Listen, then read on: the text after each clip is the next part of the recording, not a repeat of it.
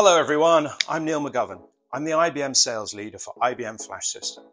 I've just been to the supermarket with my daughter and on the way back in the car, she threw me a bit of a curveball. She said, hey, keep overhearing you on your conference calls and you keep talking about IBM FlashSystem. So what makes it so great compared to other suppliers, other vendors? Well, tricky. Uh, how do I explain this to a teenager? Luckily, just back from the shop, so I've got some props to help me. So firstly, when we think about a storage array, we think about two main components. First, there's the drives. Let's use these guys here. There we are, the flash drives. This is where the data sits. Now, most vendors use off-the-shelf generic drives. And these are great, but they are dumb. All they do is store the data. They don't have a brain. So for that, you need a second element, uh, a controller, a massive, expensive, power-hungry processing unit to sit on top and tell the drives what to do, including managing all that important stuff like encryption and data reduction tasks. These massive controllers have a tremendous amount of work to do and they can easily get overwhelmed. For example, they often have to park up important tasks like encryption and data reduction off-peak times uh, so they can deal with them then. It's not a great idea to delay really important tasks like that. There's another problem. If you need to add more capacity, which normally has to be done in batches, like 10 or 20, okay, as you add more capacity, the controller has even more work to do, and that will impact performance. And eventually, performance will get so bad that you have to add another very expensive power hungry controller. Now, IBM takes a different approach. IBM doesn't use off the shelf generic drives. IBM invested and innovated to develop its own smart drives called Flash Core Modules, or FCMs, now on their fourth generation with millions in use worldwide.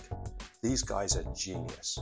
Firstly, these IBM drives offer incredible density per unit compared to most standard drives, so they fit the same amount of data in around half the physical space, saving valuable floor space and valuable money.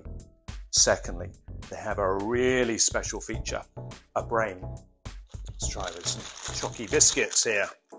So each of these FCMs has a special low power mini supercomputer right inside, its own turbo mini brain. This means IBM arrays don't need massive, expensive controllers to do the same work, just a small nimble one. How about one like this? There we are, a small nimble one. Together, this saves up to 40% in power costs while achieving more than two times the performance. With a mini supercomputer in each drive, tasks like encryption and compression are done spread out across the array and they're done real time without delay or without hitting overall system performance and they don't require extra space to park up tasks till later. So when it, and when it comes to adding capacity, you can add just a single one or more.